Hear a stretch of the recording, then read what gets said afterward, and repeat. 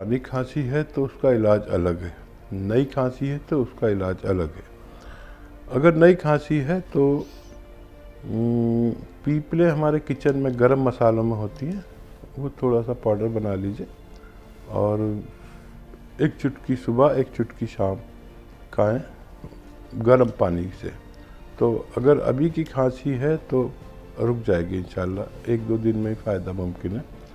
अगर बहुत पुरानी खांसी है तो आप इसका मायना भी करा सकते कि कहीं टीबी तो नहीं है और घरेलू नुस्खे के तौर पर आप उन्नाब अलसी और सपिस्तान, ये तीन चीज़ें पाउडर बनाएँ, हम वज़न लेकर और एक चम्मच सुबह निहार मुँह गर्म पानी या चाय के साथ एक चम्मच रात को खिलाया करें।